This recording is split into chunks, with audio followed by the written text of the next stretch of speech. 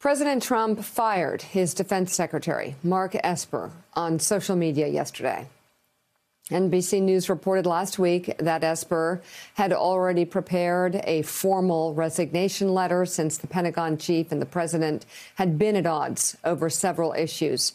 For instance, Esper was working with Congress to rename military bases named after Confederate soldiers, a move the president opposes. And over the summer, Esper pushed back on sending active duty troops to put down protests and also distanced himself from Trump's photo op at St. John's Church. John Kelly, the former White House chief of staff, told the Washington Post that Esper, quote, made the decision to stay loyal to the law and the Constitution and paid the price. Speaking to the Military Times last week, Esper himself said, quote, who's going to come in behind me? It's going to be a real yes man. And then, God help us. Joining us now, Chairman of the House Armed Services Committee, Democratic Congressman Adam Smith of Washington. He was reelected last Tuesday to represent Washington's ninth congressional district.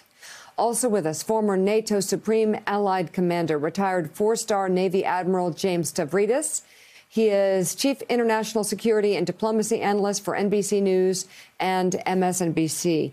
Um, Admiral Stavridis, um, God help us, is that um, is that over the top? Is that uh, or are we in unknown territory?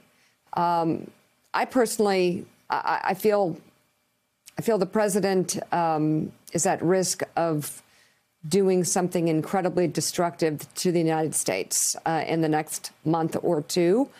Am I being overly hysterical? Well, no, you're not being overly hysterical, but we all ought to be concerned. And, you know, I spent two years as the senior military assistant as a three star to the Secretary of Defense, at the time, Don Rumsfeld. So I know that position extremely well. And I'll give you three reasons we ought to be worried. One is tactical. Every week, the Secretary of Defense receives an orders book. He's the one who actually makes the decisions to deploy units overseas. Those are highly technical decisions. You can't just jump into the middle of it uh, without doing damage to how we uh, deploy our troops. Number two, operationally, at the level of theater, this is where the Secretary of Defense thinks about well, should that aircraft carrier battle group go to the Arabian Gulf or should it go to the Western Pacific, to the South China Sea? And then finally, strategically, um, there are some pretty obvious concerns here, starting with, and not to get at the really dark end of the spectrum, but the nuclear codes.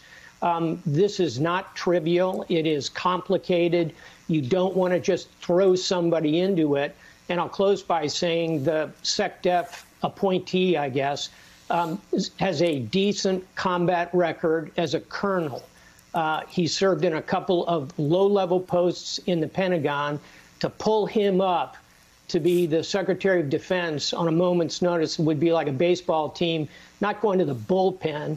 It'd be like going down to a, a high school uh, ball team and saying, hey, send that pitcher up here to the major league. So, yeah, we ought to be pretty concerned about it. Chairman Smith, you head up the Armed yeah. Services Committee in the House.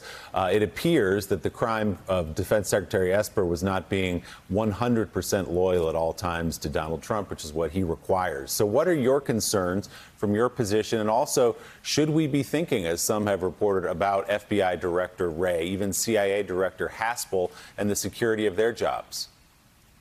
Well, I think Admiral Stavridis is absolutely correct. This, this is an incredibly destructive act by the president.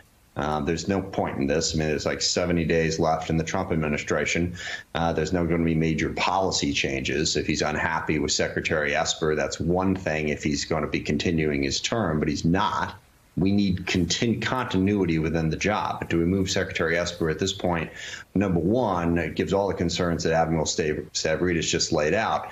Now, I, will say that Acting Secretary Miller, I spoke to him yesterday. He's not a bad guy. Um, now, Admiral Stavridis is also correct. He's not qualified for this position, but he sounds like you know he's going to do his best, and he's working with Chairman Milley, Chairman of the Joint Chiefs of Staff. But it's still a destructive act because it places uncertainty at DoD in a way that is very dangerous. And the second point is what, what Mika has been alluding to and what you just alluded to. What's next? Yeah. Uh, well, what else is President Trump going to do uh, that's going to place our country in jeopardy? And let's be 100% clear on this. There is no question of the outcome of this election. I've been through a lot of elections. I, I I've seen very close elections. We all have. Um, they happen. There's no question of the outcome here. What President Trump and Mitch McConnell the Republicans are doing here is unbelievably destructive to this country and completely wrong. There, there's no legitimate challenge to this election. So you're beginning to see in, in the firing of Mark Esper the damage that President Trump could do